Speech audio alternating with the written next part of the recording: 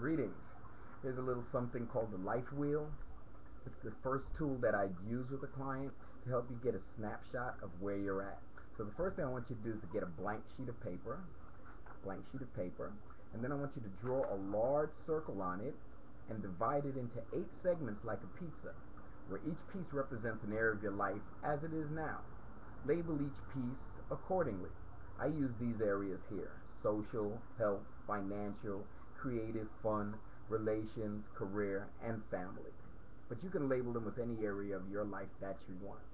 Now, here's the cool part about it. I want you to take your time and look at each one of these areas here, and I want you to mark it from 1 to 10, with 10 meaning you're very satisfied with that area, or with one meaning you're very unsatisfied, and the other numbers in between, kind of where, where you're at with that. Okay?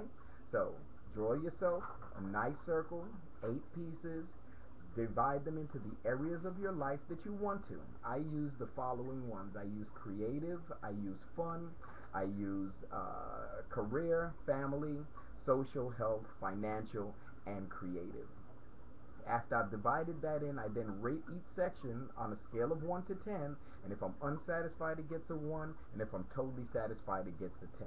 So once I do that, this is what I'd like you to do. Just look at your scores. Now, where are the two lowest scores? And what are the two areas you would like most to move forward in? In moving forward, how would you feel if you could significantly move forward in these two areas? And the next question is, what actions can you take to start moving forward in those areas now? All right?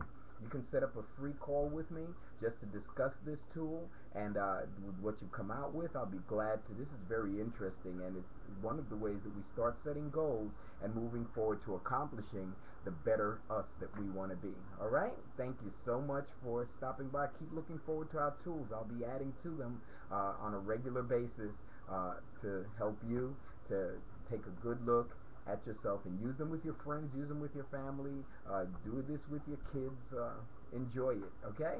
All right.